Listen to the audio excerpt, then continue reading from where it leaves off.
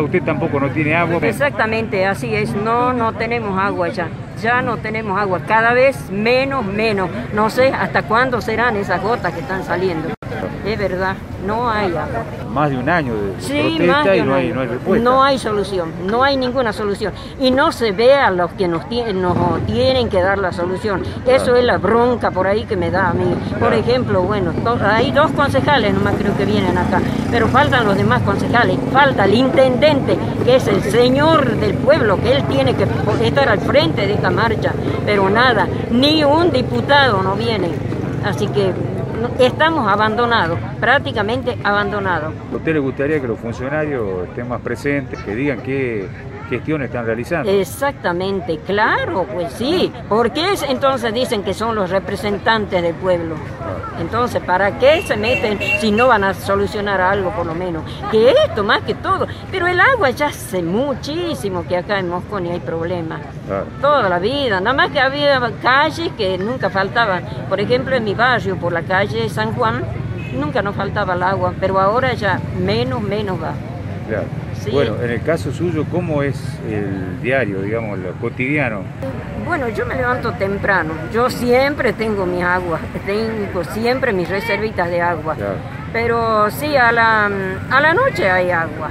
Después temprano también, pero ya más tarde, ya eso de las 11, 12, y qué sé yo, hasta las 5 de la tarde ya casi no sale. Muy poquitito, muy poquitito. Claro. Así. Y ahora se restableció un poco porque llovió. claro. Claro, sí, con esta lluvia, sí, se- hubo un poquito más de presión de agua, sí, la verdad que es así.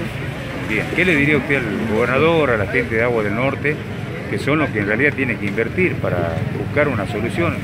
Y claro, pues bueno, Agua del Norte es la empresa que nos cobra, nos cobra el agua. Yo religiosamente pago el agua, Paga el agua. pago el agua. Yo todos mis impuestos los pago. Yo estoy al día con mis todos, con todos los impuestos. Ah. Cosa que yo tengo derecho a reclamar. Claro. Claro, si quieren les traigo las boletas y todo lo hago ver.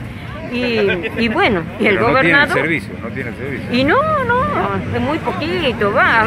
Vi- Vio que acá los servicios en Mosconi, nada, no hay, ningún servicio. Pero claro, esto del agua ya, ya supera todo.